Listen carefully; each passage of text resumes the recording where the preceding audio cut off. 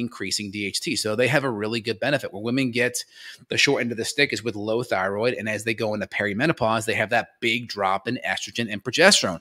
That's where women get nailed outside of just having gut issues and not getting the raw material in. So that's where they get nailed. So be mindful of that.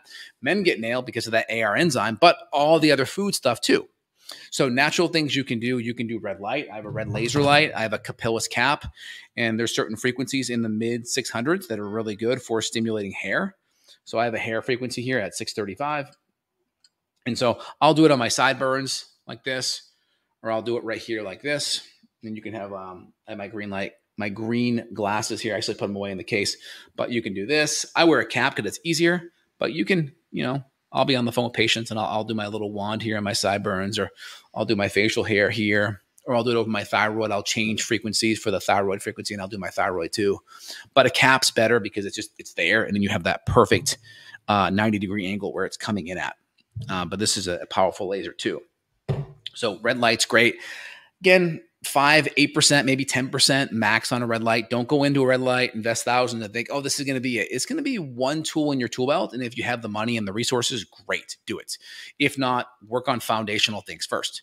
Second thing, you women topical castor oil is wonderful. Topical rosemary is wonderful. Uh, good shampoo is great. For my men, you know, saw palmetto, wonderful. Topical at night is great. A milliliter, spread it out, massage it in, um, and or saw palmetto orally um, that's going to be a good thing. And then you can also add in microneedling, women too. Microneedling once a week, around one millimeter around the scalp is going to be great. Get a microneedling pen, that's perfect.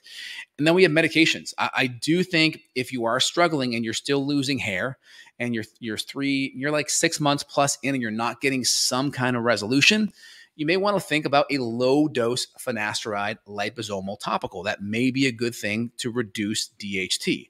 Again, you'll see side effects of finasteride out there. The way you can mitigate that, data shows only about 2%. All right. And the biggest reason why people get a, a side effect of finasteride is because you will increase testosterone when you take finasteride by 20%. And if you're a man and you're already aromatizing, you're already converting T to E, guess what? If you're already aromatizing and you start increasing your T, now you can increase your estrogen. And that's why you're going to get gynecomastia. That's why you're going to get low libido and brain fog because your hormones are off. So before you do anything, get your full hormonal panel tested before you go. And that way, if you see an issue, you can come back and test it and see what the issue is. The, the way you can mitigate a lot of that is you microdose and you do topical. That's a good way. Now, you want to work with a clinician that can monitor your bloods, check out where you're at, but you can mitigate a lot of it. And again, my thing is, is a hierarchy